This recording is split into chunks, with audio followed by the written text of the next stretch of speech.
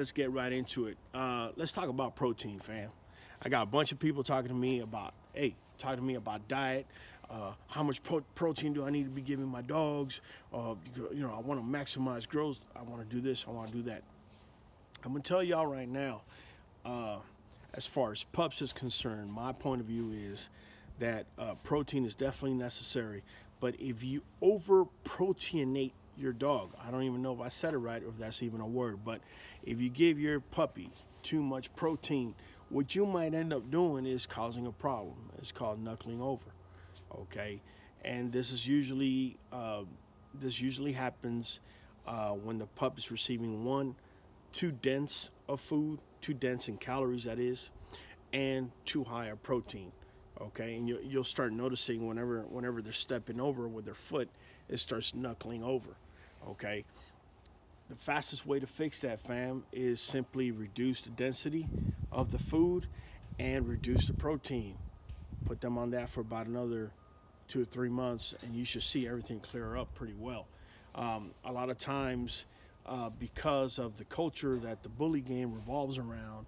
Uh, you know, you got people, you know, they want a three month old pup to be, I don't know, 80, 100 pounds. And what they want to do is, you know, feed the stuffing off this off, of this dog by giving them high density puppy food, you know, with all this protein and and, and you know, you hear them brag, you know, I, I gave him, you know, eight, eight egg whites and and three quarter chickens and you know, a pound of pig lard, and God knows what else they'd be giving him to try to get the dog to gain. And uh, what I keep telling people is, fam, you got to realize when you buy an American Bully, uh, especially that first, you know, year and a half, their growth plates, okay, their growth plates don't seal until they're at least a year and a half old. So if you add weight to them, two things are going to happen. First thing is if if you have if you're getting an XL or, or, or bigger, uh, what's going to happen is their bone is probably going to grow a lot faster than their soft tissue will. so, what is soft tissue? Well, we're talking about tendons, cartilage, ligaments, the whole bang. What's going on with that is that gets very little blood supply, okay? And whereas the bone, that's where the blood is actually being made. So the bone is actually growing a lot faster, okay? and it takes time for this soft tissue to catch up. So if you start feeding protein, especially raw protein like ground beef to your puppy uh, on a daily basis looking for that growth, well, tell you what, initially you're going to get it. You're going to start seeing the bone growth because ground beef actually activates what's called um, IGF-1, which is the uh, growth hormone, which, which all mammals have. Us humans have it as well. Now, when you activate that growth hormone by giving raw raw uh, ground, you're making that bone grow even faster. So the soft tissue was already behind the power curve, and now you just made the bone grow a little bit faster. So what ends up happening is um, once you start adding weight to that, now you have two factors that are playing against the soft tissue, fam. You got the bone that's growing too quick, and then on top of that, you're adding weight to the dog. Now, if you know anything about soft tissue, I'm gonna break it down for you. Okay, these tendons and these ligaments and whatnot, okay, uh, they're having to pull, okay, and, and hold the dog together.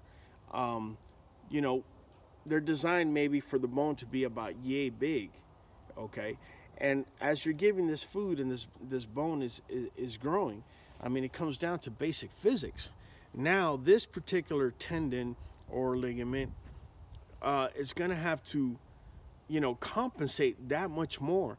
And it's not able to because it's not getting enough blood supply uh, because they're not meant, you know, it wasn't meant for soft tissue to grow as fast as bone. And that goes for all mammals, not just dogs.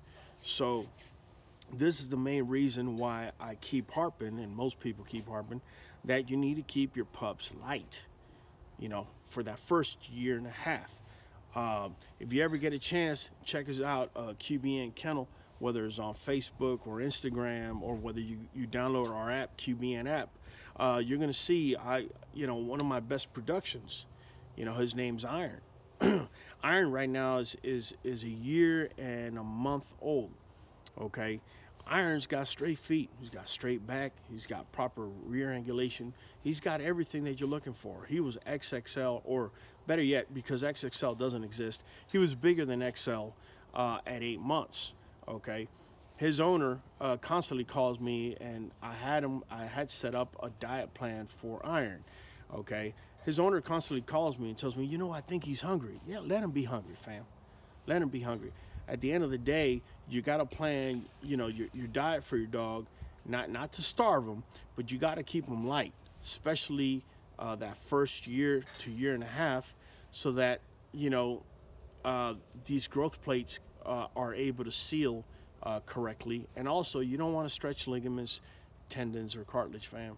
The minute you do that, you could automatically be putting east-west on your dog, and the pro probably the dog would have never been east-west to begin with. Uh, but you probably caused that by making that bone grow faster, by stimulating the growth hormone by feeding it raw meat. So again, fam, I'm gonna tell you right now. Here's the best advice I think I can give you. Get yourself some large adult dog food. Large adult, not puppy. Large adult, okay?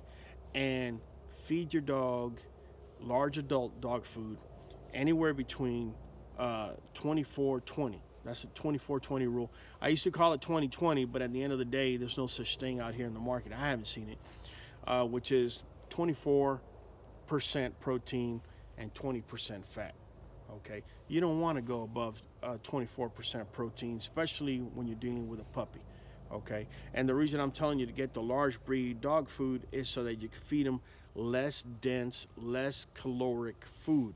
This way the dog doesn't put on weight.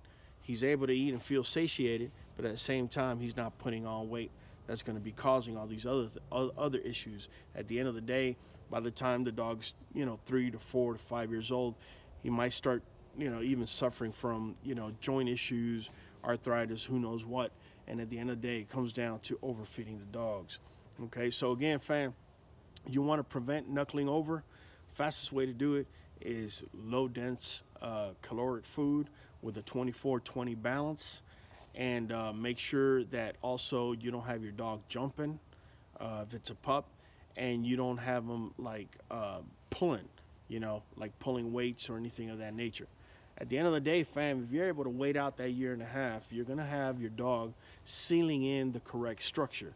At that point, you could go ahead then and start adding some weight and start adding some supplements to make the dog, you know, gain more muscle and whatnot. Uh, at that point, bone growth, for the most part, at least the growth plates have been sealed. Uh, usually the way our bullies grow is first they're going to grow up, then they're going to grow wide, then they're going to grow their noggin. That's usually the way it goes. Um, I've seen some bloodlines do it a little different, but hey, I'm just giving you a general rule. Again, fam, uh, this has been Raul from QBN Kennel. I'm going to ask you to download our QBN app. Also, if you think what we're doing is good, make sure you hit the subscribe button.